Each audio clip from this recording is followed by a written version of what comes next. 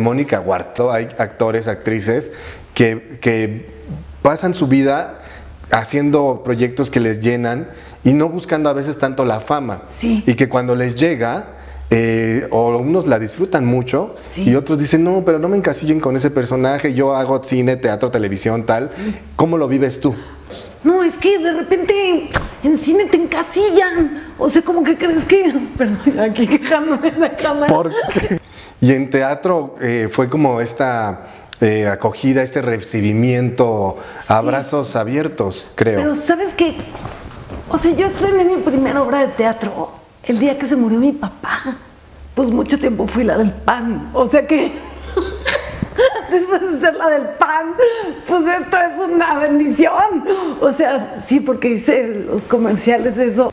Messi es tan ermitaño como dicen. Cristiano es más juguetón. Y me cantó las mañanitas. ¿Te ves como chica Almodóvar? ¿Recibes regalías del disco de mentiras, el musical? No. Entre lo económico y el prestigio, ¿cuánto cuesta ser congruente?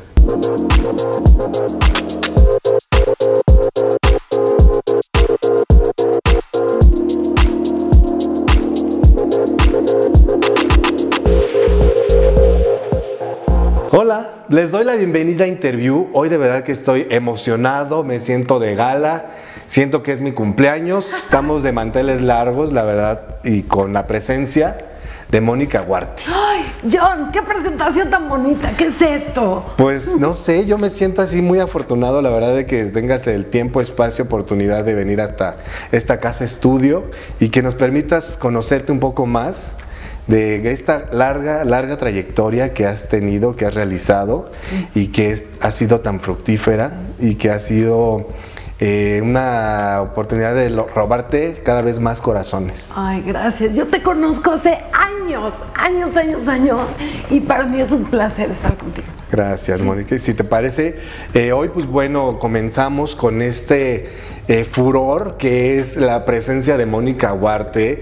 La- me imagino pues la gente te ubica y te conoce mucho por Chio. Sí, sí, qué locura.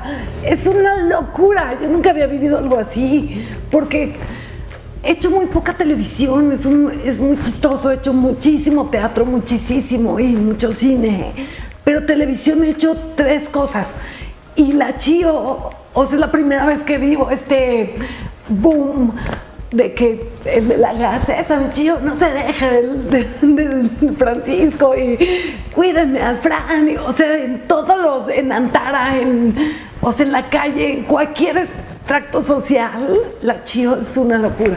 Sí. Conectó con mucha gente. Sí. Y creo que ha sido ese personaje tal vez que muchos esperan o que muchos eh, añoran y otros tantos a veces les llega y lo, lo repudian.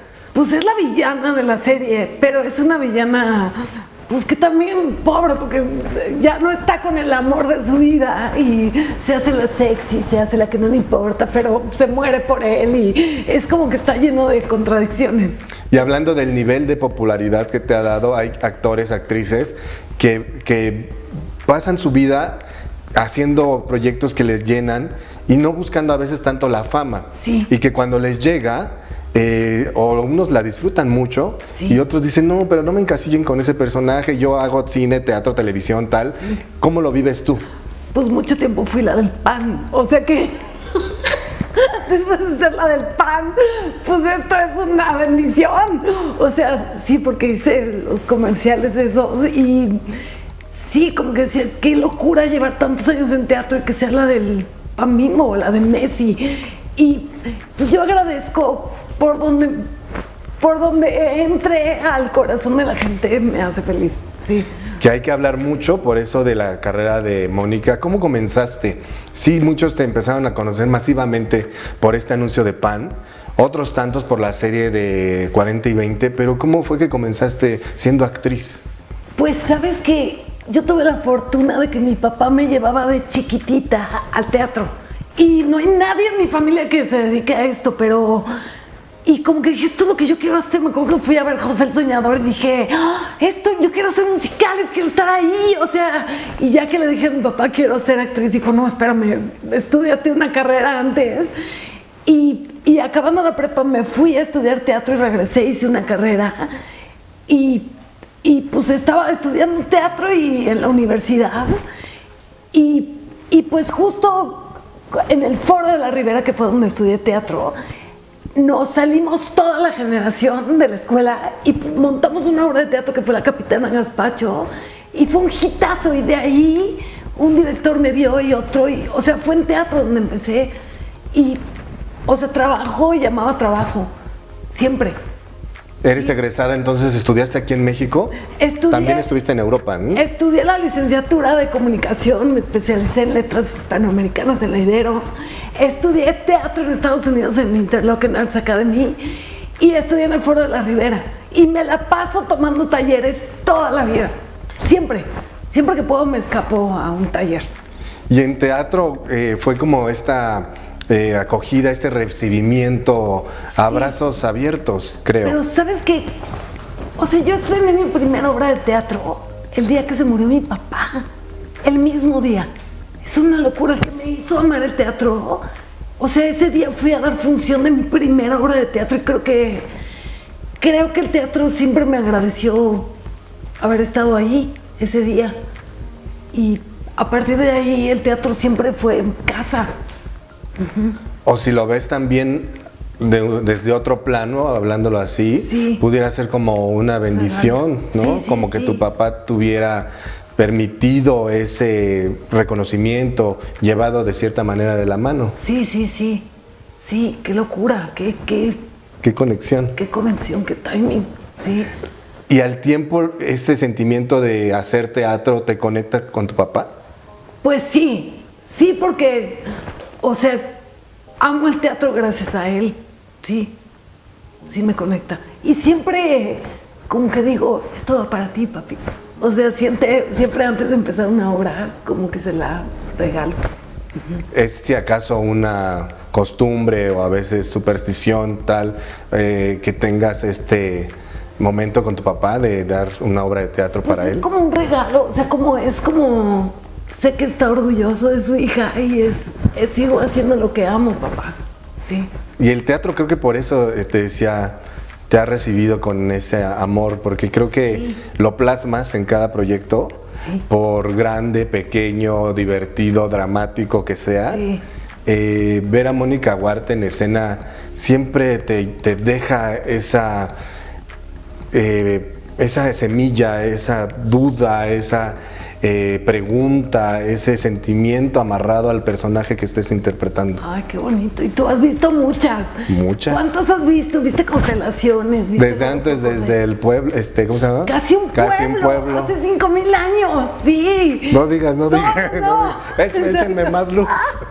Ponle más albanene.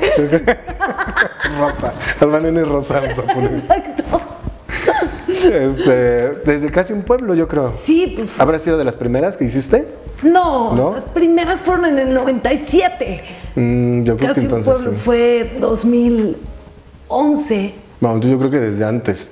Desde antes, yo Desde creo que desde antes. antes. Sí, te he visto. Llevamos años de conocernos. Sí. Lo quiero mucho. Ay, yo la admiro y la quiero tanto. Voy a llorar tantito. Y eso, eh, creo que el teatro te ha dado ese peso, esa experiencia, esa soltura.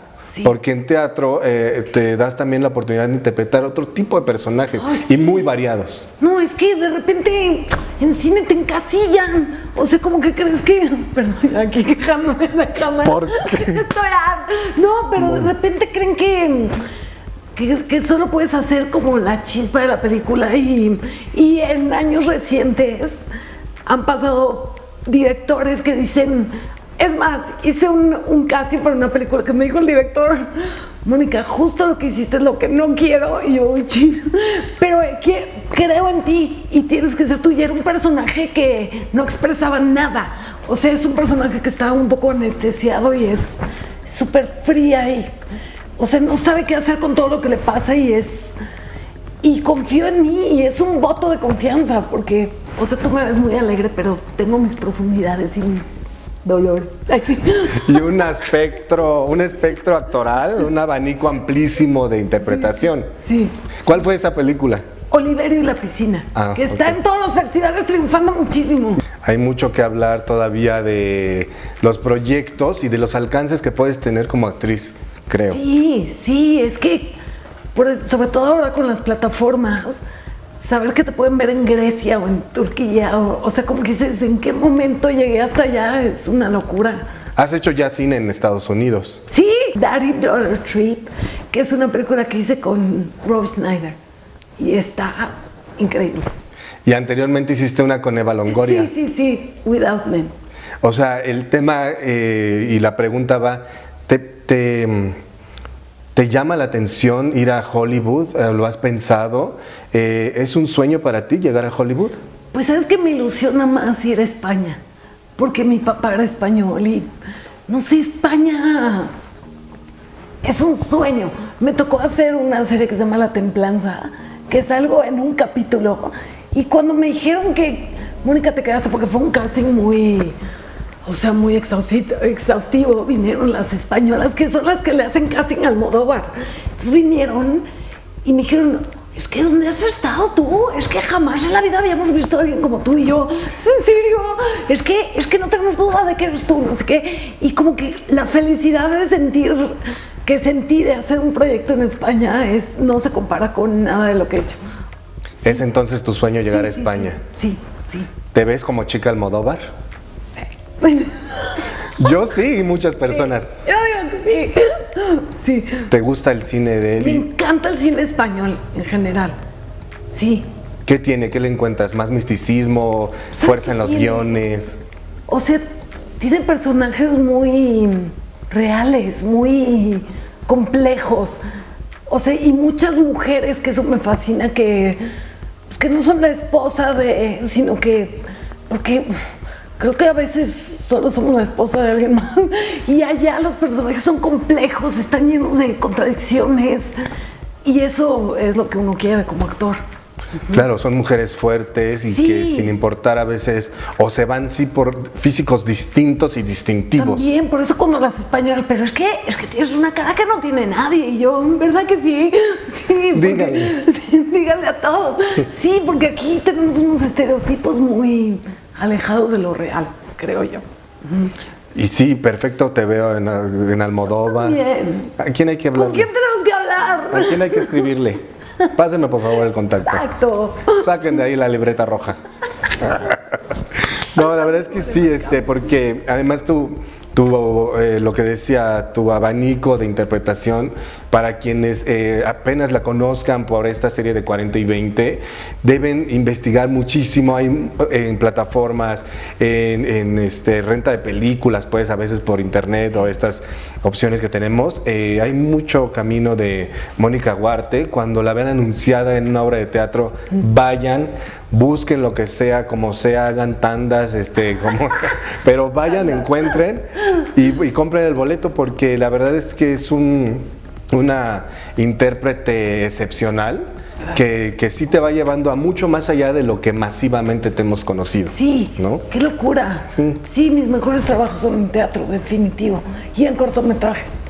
Y, y de, y de eso creo que te hiciste también de un gran número de seguidores, le dicen el fandom, Sí, eh, por tu trabajo en Mentiras, el musical. una locura. ¿Qué tal? Sí. Cuéntanos Creo de que eso, todos por los favor. fans que tengo son de mentira.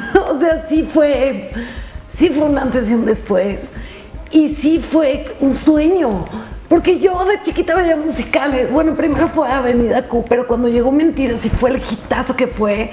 O sea, me acuerdo salir y dar autógrafos, así como rockstar, me sentía los Beatles ahí. O sea, era una. Sí, sí fue una experiencia maravillosa. Sepan que ese álbum que encontramos y escuchamos a todas horas en las plataformas, Ajá. Mónica interpreta a Dulce. Sí. Ella es quien grabó ese disco. Sí. Que además existió de manera física, todavía lo pueden encontrar. Exacto. Pero ahora es el soundtrack de todas las Sí, de reuniones. todas las fiestas. Diagonal pedo. Exacto. Sí. Este, cantar Es una contigo, este, tu muñeca, no soy Muñeca, una ¿Cómo te va, mi muñeca. amor? De mí enamórate. Todas, sí. ¿Cómo llegó ese, esa oportunidad? Porque sepan que Mónica es parte de- del primer elenco, o sea, del que estrenó. Y anteriormente sí, habías estado en Avenida Q, padrísima tu trabajo ahí. Pues yo siempre quería hacer musicales y audicionaba y siempre me quedaba en la última ronda y escogían a la otra. Era así como están ustedes dos y pum, la otra. Y yo, ¿qué pasa? ¿Qué pasa? Y pasaron 10 años, de, un día dije, ya, ya, yo creo que tengo que olvidarlo de los musicales. Y pasaron 10 años y fui a audicionar para Avenida Q y eres tú y yo, en serio? O sea, estaba feliz. Y de Avenida Q, como fue Mónica Bravo, que era la productora de, Mentiras, fue la que dijo, pues llamémosla a Mónica a audicionar y les encantó. Sí. de haber hecho esto con Katy Sí, de Katy Monster, sí. Un poco se mostraba ahí tu dulzura para cantar. Sí. Y creo que también cantabas esa rola de Mi enamórate en ah, sí, sí, sí, que me da un zape, Eugenio. Sí, sí, sí. Sí, era un presagio ahí de lo que iba a venir. Ajá. Mira, qué, chistoso. Y, además, pues bueno, es un musical Mentiras eh, que marcó definitivamente una, sí, a una generación, pero sobre todo a regresar a hacer producciones mexicanas propias desde cero. Sí, Sí, porque yo me acuerdo cuando era chica que estaba que Plantón, Anju, o sea, había mucha producción mexicana y, y pasaron muchos años para que volviera a pasar. Y Mentiras es un hitazo hasta la fecha. Hoy ya está con otra producción, ya hay como está todo muy tuneado, muy renovado, tal. ¿Las viste? Cantan, sí, ya lo vi. Cantan que te mueres. No lo puedo creer cómo cantan. Sí. Pero tú estabas en esos alcances. Pues, pues éramos más austeros todos, pero ahorita sí, o sea, ahorita dije que no puedo creer cómo cantan todas, están brutales. Oye, y me imagino que precisamente después de tanta difusión que ha tenido el álbum, el disco, en su momento que se vendió, te fue muy bien a ti de las regalías. No. ¿Recibes regalías del disco de Mentiras, el musical? No. No. ¿Qué pasó? Ojo aquí. Ojo aquí, Hacienda. Ojo aquí, contadores. O sea, nos hicieron un pago por el disco al principio y la verdad estábamos felices. O sea, nunca he pensado en eso porque creo que fue. Sí, fue un regalote. O sea, mentira, sí fue. Sí fue un parteaguas en mi vida, en todos los sentidos.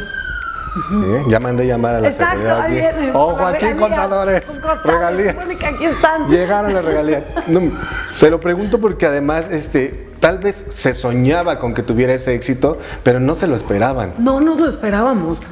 No, o sea, no nos pasaba por la cabeza que se iba a vender, que iba a ser, creo que entre los cinco primeros lugares de Mix Up, se puede decir. Sí, todos. Aquí se puede decir ah, hasta maldiciones, yo creo. Ah, ok.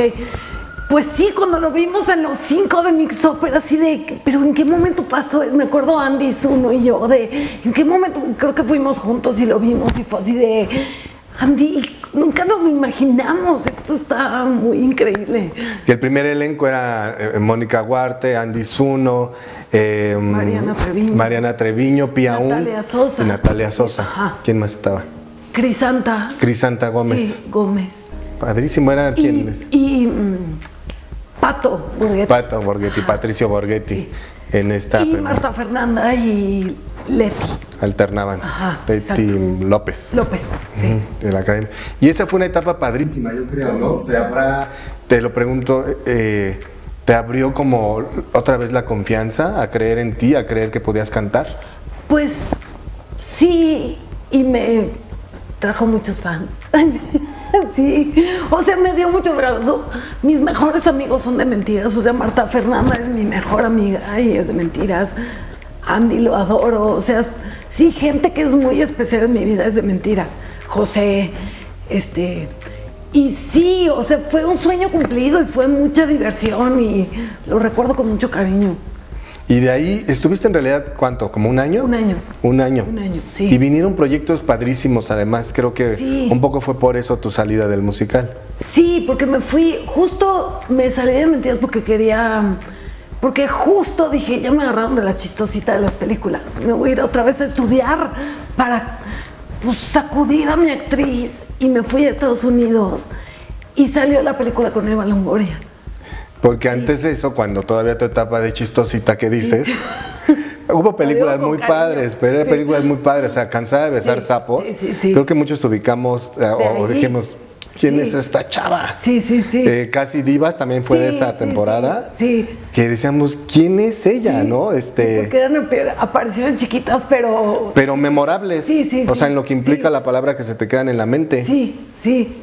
Y es eso. Y entonces te fuiste a, estudiar. Me fui a estudiar teatro a um, Stella Adler y sí tuve un maestro, Tim McNeil, que me cambió la vida, porque me, como que me abrió un, un jardín para jugar y él no sabía que yo hacía comedia, nunca le dije. Y cuando le dije, ¿sabes que en México solo hago comedia? Me dijo, Mónica, no, tú eres una actriz dramática, ¿cómo que haces comedia? Y yo, te lo juro. Y me dijo, es que puedes hacer lo que quieras. O sea, fue alguien que me, o sea, lo amo con todo mi corazón a Tim, porque sí me hizo creer en que yo podía hacer lo que se me pegara la gana. Y sí, Y, y muestra de eso fue trabajar con una- tal vez en un proyecto que no te imaginabas, ¿no? Con Eva Longoria en esta película. sí, sí, pues yo fui a audicionar porque me habían visto en Cansada de besar sapos.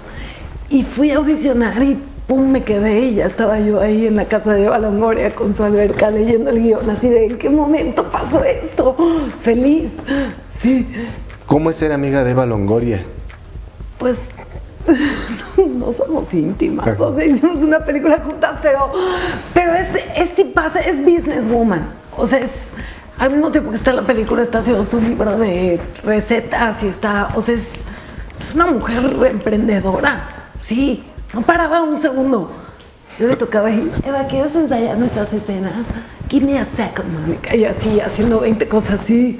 Padre.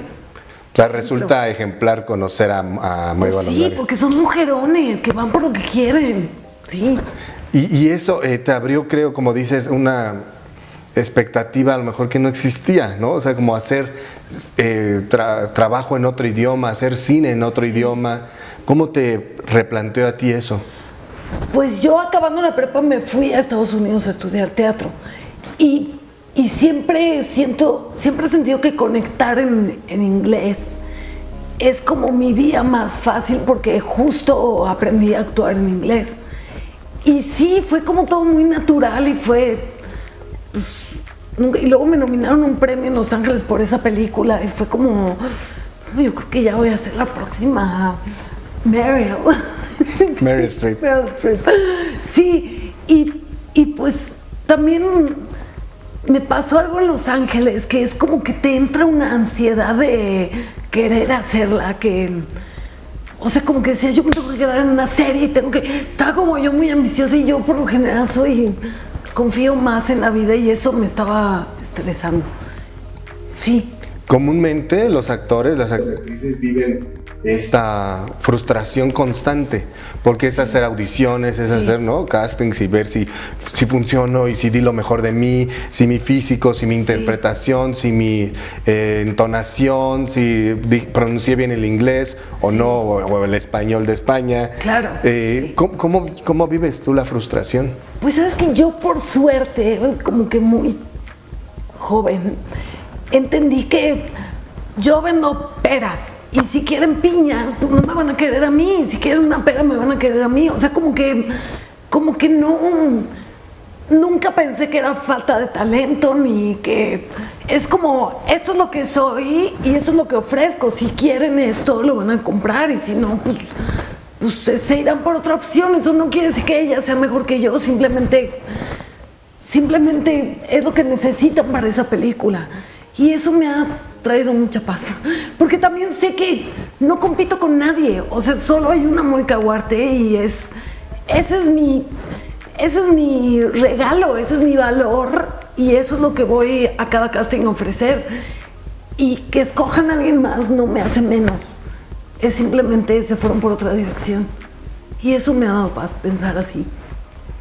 ¿Cómo lo lograste? Porque hay muchos que no pueden. Sí, pues lo entendí muy joven, como que al principio lloraba porque no me quedaba hasta que dije, no me estoy quedando no porque no sea buena, sino porque quieren otra cosa, quieren otra cosa y yo soy esto. Entonces cuando el día que quieran esto, ese día me van a querer a mí. Y lo que hice fue alimentar esto. Fue como decir, ¿qué me hace única? ¿Qué me hace diferente a todas? Porque si soy ahí una más, ¿qué me hace a mí ser solo Mónica Huarte? Y eso es lo que alimenté en estos años. Y en estos años se ha sumado también cuántos seguidores tienes, cuánto vales. Ah, eso es nuevo. Es, muy locura. nuevo y es feo. Es terrible. Me parece tristísimo. Porque es un concurso de popularidad que no tiene que ver con tu capacidad, sino con tu inversión en las redes. O sea, cuánto tiempo estás ahí. Y yo prefiero leer un libro que estar ahí tres horas, perdón. Y pues no tengo tantos seguidores, pero si voy a un casting me lo quedo. O sea, sí, si quieren, si quieren lo que yo tengo, me van a escoger a mí. Si quieren seguidores, escogerán a alguien más. Sí. ¿Te has enfrentado a estas decisiones de te quedas por tu talento o te quedas por el número de seguidores que tienes? Por suerte no, pero sí he escuchado que eso pasa y me parece tristísimo. Lamentable. Y ahorita acaba de pasar, no sé si contarlo, pero bueno. Cámbiale los nombres. Ok, me ofrecieron un programa que es el más popular de una televisora, que ya hice el año pasado. Y se juntaba con el teatro. O sea, me dijeron tienes que escoger y escogí el teatro. Y sé que lo otro es una proyección brutal, pero a mí lo que más feliz me hace es el teatro y lo que más me hace crecer como actriz es el teatro y escogí el teatro. Porque implica eh, mucho más sacrificio, mucha más entrega, eh, a veces hasta inversión Sí, económica de tiempo y de, y de entrañas sí, hacer sí. teatro. Sí, pero sabes que nada se compara, nada, absolutamente nada se compara con, sí, con saber que le tocaste el corazón a alguien que fue al teatro. Yo soy actriz por eso, porque decía, yo quiero tocar corazón desde chiquita. Yo quiero tocar corazón, o sea, no es ni por ego, ni es quiero contar historias y quiero que esas historias resuenen y te sacudan. Y eso es lo que más amo hacer. Y has elegido historias muy eh, entrañables, o sea, que conectan con la gente. Yo he sido seguidor tuyo desde que te conocí. Sí. Ahora no recordamos cuál obra habrá sido, pero vamos- tenemos que hacer un, Sí, un- un listado y entonces ahí vamos a encontrar Sí, dónde fue que nos conocimos. Pero mucho recuerdo Constelaciones, Sí. que fue una obra preciosa, una obra que, que permitía verte a ti misma en eh, Todas siete, las- ocho, No diez, manches, sí, o 20 mil, o diez sea, aristas, diez sí, lados sí, de, sí, de sí. Mónica Huarte del personaje que interpretabas. No, esa obra sigo pensando que es mi favorita porque era un jardín de juegos, era, eh, era de multiversos y en una posibilidad tomabas una noticia desde un punto de vista y en el otro desde otro y era como actor era un no manches un- una olimpiada. Sí estaba muy cañona Entre lo económico y el prestigio, ¿cuánto cuesta ser congruente? exacto ah qué belleza Te pregunto. No, pues es congruencia. Sí, eso es, eso es lo que te da una reputación. El decir, yo no escojo, o sea, a veces te equivocas y a veces metes la pata y quedas en unos proyectos que dices, madre, me equivoqué muy cañón, pero pues por lo menos hay algo que te jala. O que vas a actuar con gente que admiras, o que el director es alguien que sueñas, o, o el personaje te saca de tu zo- zona de confort. O sea, sí, tiene que ser algo que te mueva, si no. Sí, ¿Has sentido que cometiste errores en tu carrera? claro. Sí. Y luego son los más populares. Qué fuerte. Sí, es una locura. Sí. Estoy haciendo cuentas, estoy haciendo ahí revisando mis archivos, ¿cuál será? Y además esto que hablábamos eh, es eh, también hacer este tipo de proyectos a veces Ajá. para atraer a la gente al teatro, para que vayan y te encuentren en el teatro. Exacto. Luego tienes que hacer algo muy comercial para que, hey, ahora vayan a verme al teatro, que es lo que realmente me hace volar. Sí. ¿Te propones hacer un balance entre los proyectos populares y los que son tal vez más eh, cercanos, más íntimos, para que la gente precisamente vaya y te encuentre en el teatro? Pues hago lo que siento que quiero hacer. No pienso en qué tan popular. Es como, este personaje tiene algo que decir. Es más, me pasó una vez. Me pasó que me invitaron a una novela y no había hecho novelas. Me invitó un director muy importante. Y, y entonces dije, no, es que novelas como que no. No, Mónica, por favor, es que necesitas esto en tu carrera porque eso te va a dar un levantón. Ok, ok. Fui a hablar con él, llegué a mi casa y empecé a leer los capítulos y dije, no puedo hacer esto. O sea, me voy a deprimir, esto está horrible. O sea, ¿qué mensaje es este? Está mal por todos lados. O sea, este, es- no. Entonces le hablé, le dije, ya lo pensé bien, no lo voy a hacer. Me pegó una regaña y hasta la fecha ya la relación está rara. Pero fui fiel a lo que sentí. Sí, sentía que me iba a deprimir con esos textos tan mal escritos y tan... O sea, en esta ocasión, no en todas, hay, hay novelas muy buenas, pero en esta sentí que no, que no resonaba, ¿Telenovelas no has hecho? ¿no? He hecho, hice el octavo mandamiento. El octavo mandamiento, estaba hace yo revisando mis archivos. Sí, el octavo mandamiento y ya, sí, Con Argos. con Arcos, sí. Me acuerdo con Saúl Sí, sí, sí, que Margarita Rosa. periódico, Ajá, que eras eh, la ejecutiva del periódico. Sí, sí, sí, sí. Me acuerdo, Si yo te vi, dije, ah, hace caray, años. Hace muchos años.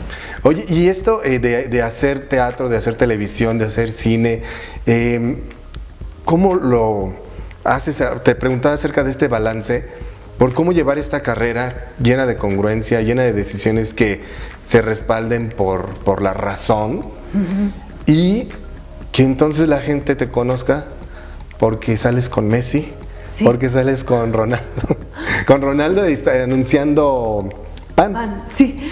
Pues no hay que pelearse con eso. O sea, es también. O sea, la tele tiene un poder que, que no tiene el teatro y que no tiene el cine. Y pues el chiste es que conozcan tu trabajo. Y si un anuncio los lleva al teatro, pues que sea el anuncio. Y si una serie de televisión los lleva al teatro, bendita serie de televisión. O sea, creo que no hay que pelearse, todo suma.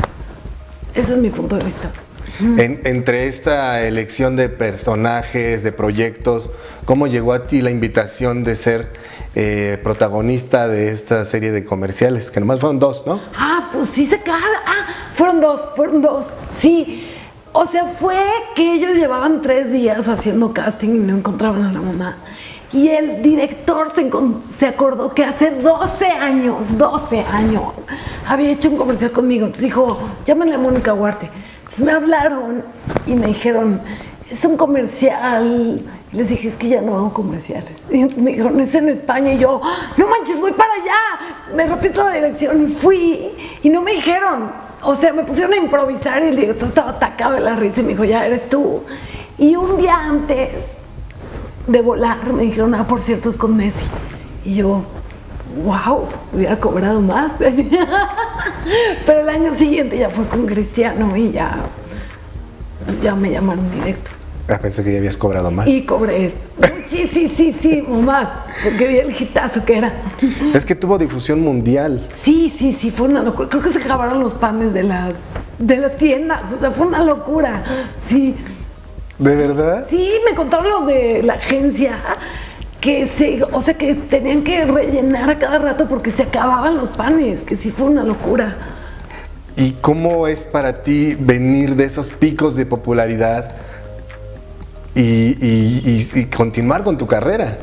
Pues esta carrera es una oleada, o sea, estás arriba, estás abajo, estás arriba y, y hay que aprender a um, surfear.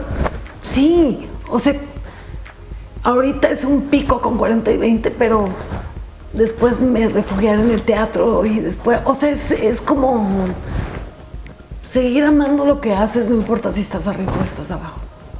Messi es tan ermitaño como dicen. Pues sí es introvertido. Sí, yo le sacaba plática y me contestaba con monosílabos. sí es introvertido. ¿Cómo es lindo. trabajar con Messi? Pues es serio, es serio. Y yo además estaba muy juguetón ese día y como que haber dicho, madre, ¿esto qué, qué está pasando? Pero le entró. Por ejemplo, Cristiano es más juguetón. En calidad de fan, le pediste el autógrafo, la playera. Todo, foto, todo. Sé que hay una historia triste detrás de la playera, de una de, de- que la firmaron, pero que al final ya no la conservaste tú. No, ahí la tengo. ¿Sí? ¿Y la de. Ronaldo también? Sí. ¿Ambas dos? O sea, la, la de, Me- ya sé, en Messi yo le pedía, ¿me puedes dar un autógrafo para mi hijo? Entonces yo estaba guardando los autógrafos en la voz y dije, no se lo voy a dar a mi sobrino, a mi hermano. Y de repente, Mónica, ¿puedes venir al monitor? Voy y regreso y ya no había autógrafos. Y yo, ¿quién se lo robó? Y me dice el de arte.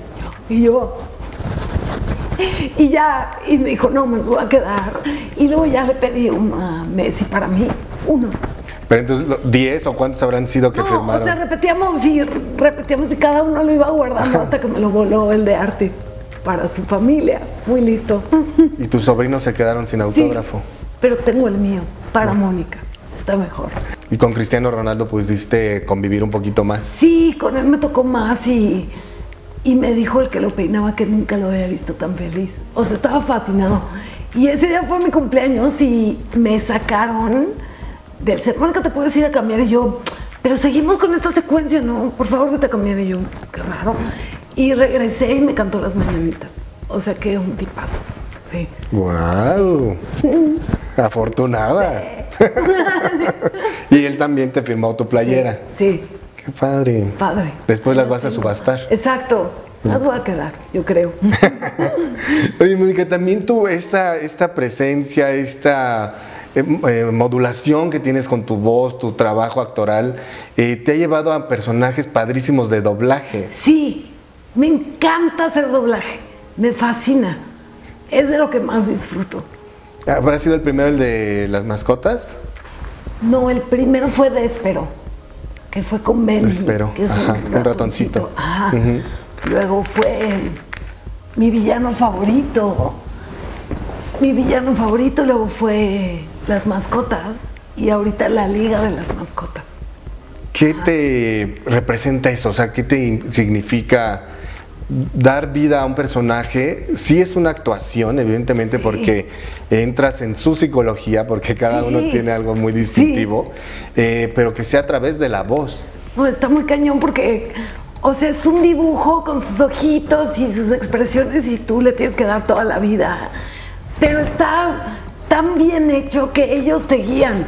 O sea, es con las cosas, con las expresiones que hacen, ellos te van diciendo por dónde y solo, pues ahí te dejas llevar.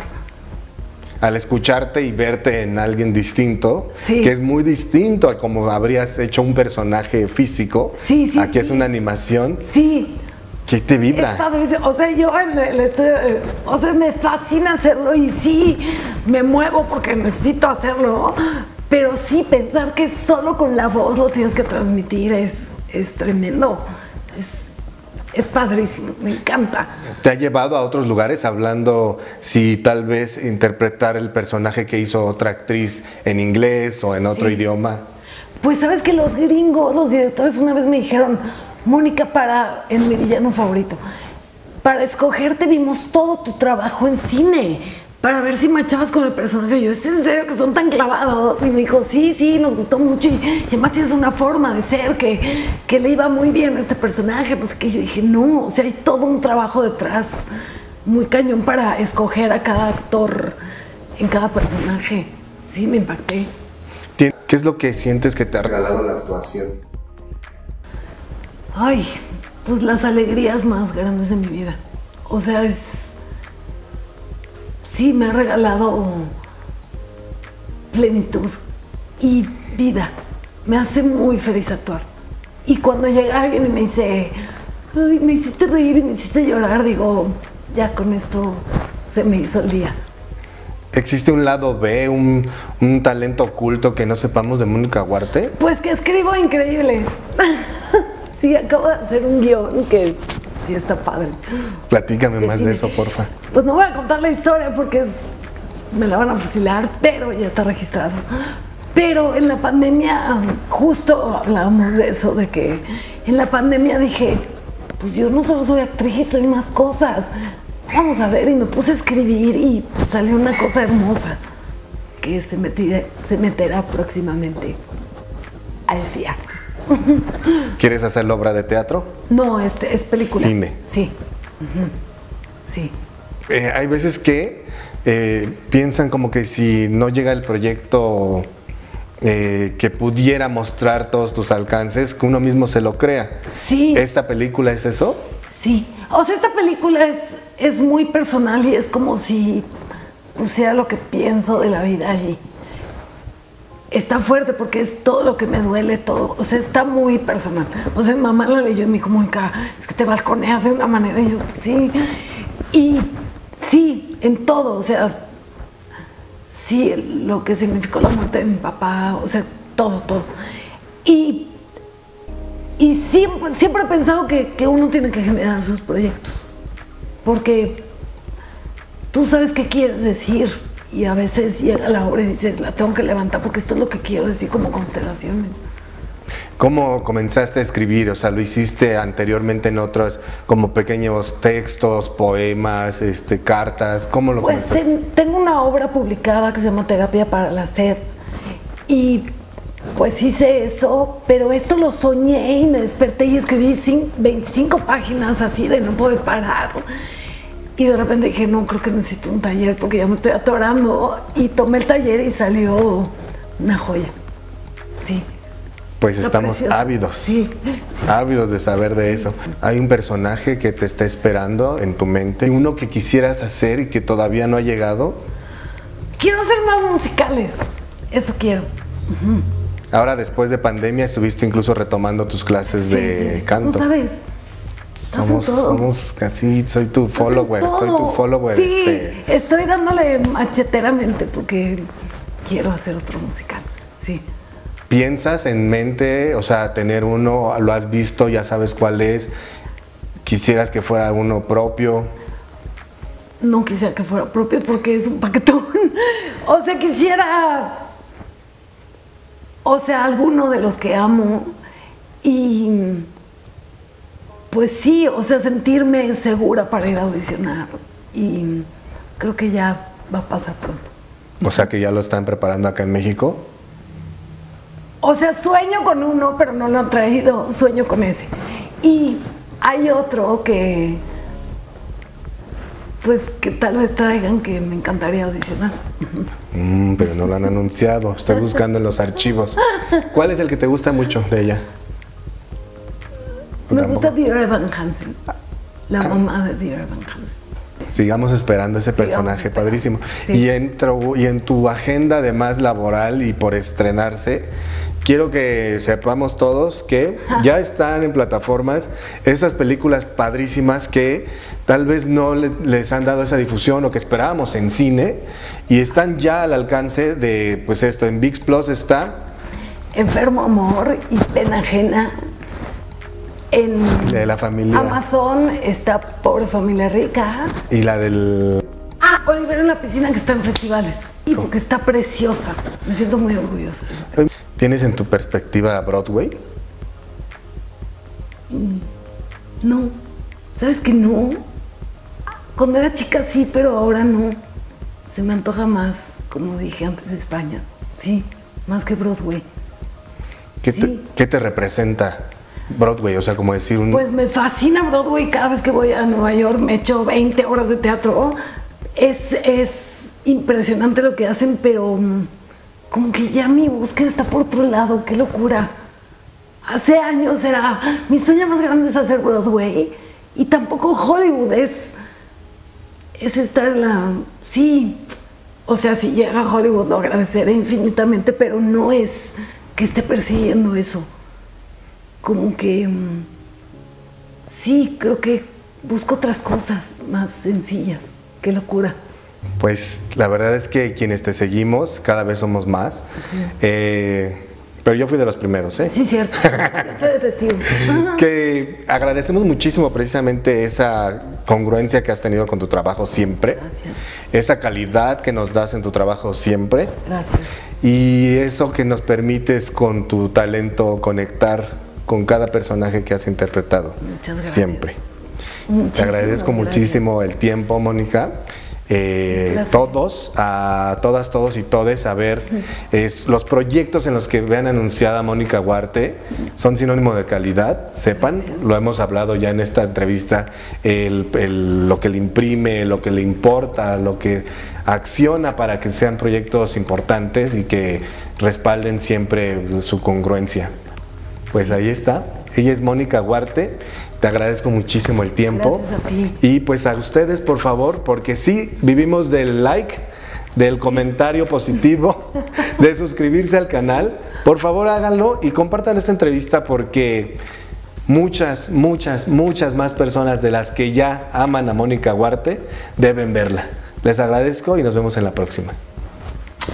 Uy, qué bonito. No te pierdas la mejor información de espectáculos y entretenimiento. Suscríbete a este canal, compártelo, déjame un like y tus comentarios.